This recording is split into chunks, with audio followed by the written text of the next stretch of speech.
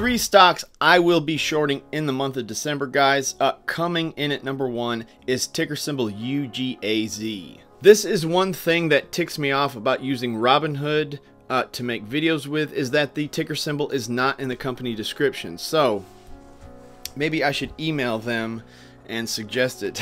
but anyways, guys, what I was mentioning, UGAZ, this is a natural gas ETF, okay? And uh, it has shot to all-time highs very very rapidly um, like I said due to a demand and a price increase in natural gas. So this is why I will be shorting UGAZ right here the one-year chart. You just have to think about this logically okay? So this ETF trades around 40 to 50 maybe 60 dollars at times and then boom it shoots up to 250 and then it starts bouncing around and is kind of holding its levels right now around $164. So the point I'm going to make to you here is that no company can triple or quadruple their market cap in one trading day.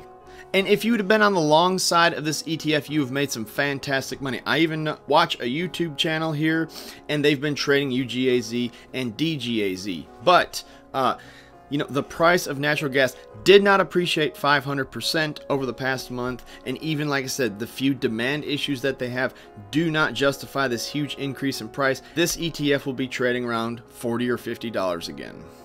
So the second stock that I will be shorting uh, for the month of December is General Electric, ticker symbol GE. So I've got the five-year chart pulled up on GE, guys, and back at the uh, end of 2016, start of 2017, this company has been on a historic collapse. I know they've had the dividend cut many, many times.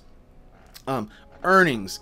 Actually, most of the time they do good on earnings, but the guidance, they keep getting guidance cuts over and over and over and over. This is one company I know the analysts have pulled for. They have pulled all they can pull for GE, but there's just nothing salvageable here is that, you know, back when GE was coming up and getting big in the 80s and 90s, of course, I was a child then, but you know, that is when these big, huge companies were really pushed to diversify and try to get their hands in as many businesses as they possibly could.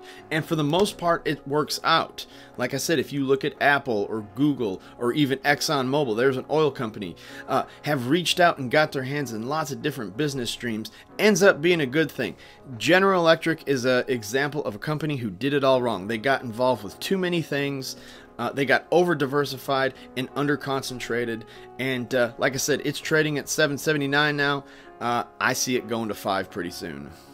And then, of course, guys, the last stock I'll be shorting in December is ticker symbol H-E-A-R, Turtle Beach. Okay, so this is the uh, gaming headset company. And Turtle Beach,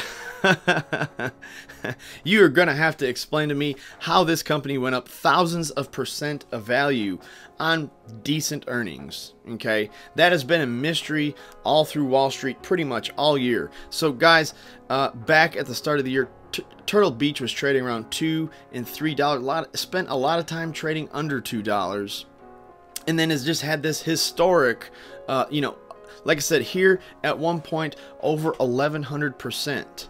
Even here, guys, it traded up as high as $32 at 1400% return on Turtle Beach. So, the long-term shareholders really, really made some nice money. I hope you sold up at those levels or somewhere near it. I hope you sold somewhere over the $20 range.